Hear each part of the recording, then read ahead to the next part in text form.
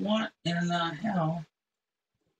I thought, honest to God, I don't remember. I re- I thought I already got out of this because I'm pretty sure it, maybe it didn't save the game. Yeah, I fought all this. I'll get to do it again.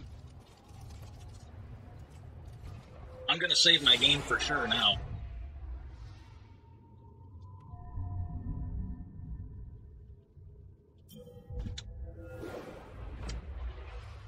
Well, at least the consolation prize. This was pretty fun.